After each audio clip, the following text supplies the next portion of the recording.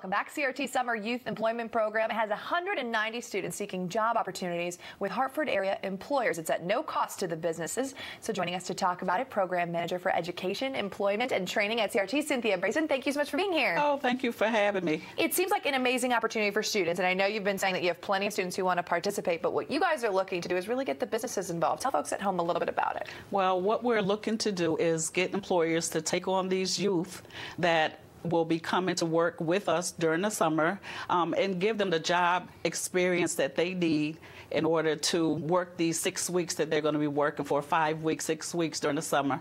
So obviously parents, especially at home, they know why this is a great opportunity for kids to get the real world experience. Why is it a great opportunity for businesses to get involved and to give back? I think it's always important for businesses to give back because the youth it'll get them off the street for one, but it'll also provide them with job readiness skills, um, staying off your cell phone while you, while you're at work, and also you know um, having that experience to put on a resume and have work experience on if you want to be a chef and then you're working in the kitchen or if you want to be a secretary you want to work in the office it'll give them that experience. And for employers they won't have to pay anything because we'll be covering the um, we'll be covering everything for the youth. So you know, we'll be paying no them. No cost for the businesses. That's no pretty cost great. at all. And what do you want them to know at home? Is there a deadline, or how can they get involved? Well, to get involved, they can contact me, and they can contact me at Baisdenc, C, and that's B as in boy, A I S D E N C at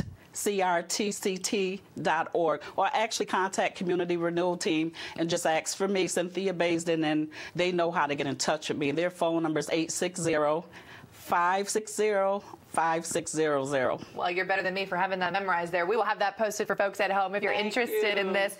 Uh, great opportunity. Cynthia, yes. thank you so much for being here this thank morning. Thank you so much for having me. I really, really appreciate that because we do need the employers to get involved. Absolutely. We'll get that posted for you guys here on the Fox 61 website, fox61.com.